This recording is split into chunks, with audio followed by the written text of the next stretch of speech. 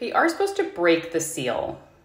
I think you're supposed to put your finger in and like push through the seal. Mm. Okay. Warm it up a little bit.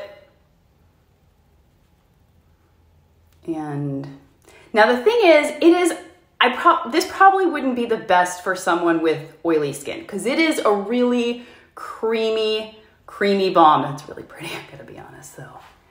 Um, and do it last because it is tacky. It stays, it is a very emollient balm, which I don't typically love. Um, but I gotta be honest, that that's, that's, that is giving some gorgeous cheek.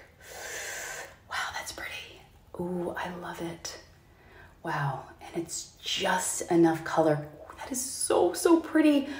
Yowza, that's, I'm really impressed. Ooh, that's pretty.